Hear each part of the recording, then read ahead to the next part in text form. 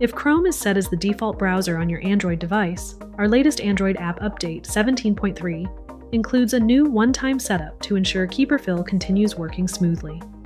If Keeper is set as your default or preferred autofill service, and Chrome is set as the default browser on your device, you should receive the prompt Autofill changes in Chrome at your next login. Tap Continue and select Autofill using another service. Next, tap Restart Chrome. Navigate back to Keeper and tap Done. That's it. You can now continue using Keeper to seamlessly autofill your passwords on your Android device.